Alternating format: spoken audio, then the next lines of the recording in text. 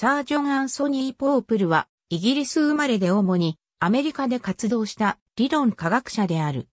1998年に量子科学における計算科学的方法の展開でノーベル科学賞を受賞した。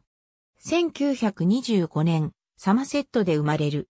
レナード・ジョーンズの下で学び、1951年、ケンブリッジ大学で数学の学位を得る。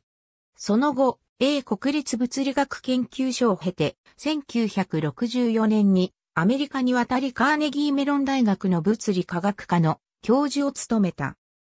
1986年からはノースウェスタン大学の科学科教授を務めている。1961年王立協会フェロー選出。主な業績は分子軌道法の理論を作ったことである。1953年にルドルフ・パリサー、ロバート・パーと共にパリサー・パー・ポープル法と呼ばれるπ電子系の近似法を考案した。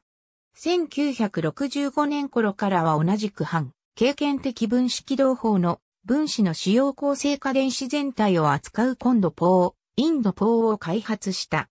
一方で、半経験的な CNDOや INDO には、同時に複数のパラメータの信頼性を上げることや、D 電子経営の応用などが困難だという欠点があった。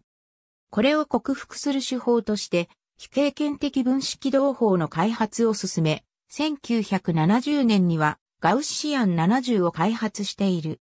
ガウッシアンは量子科学交流プログラム機構を通じて世界中に普及し、4年ごとの改定では、ウォルター・コーンの提唱した密度半関数法を取り入れるなどの改良が続けられた。今日、AB 日を計算プログラムとして最も広く用いられている。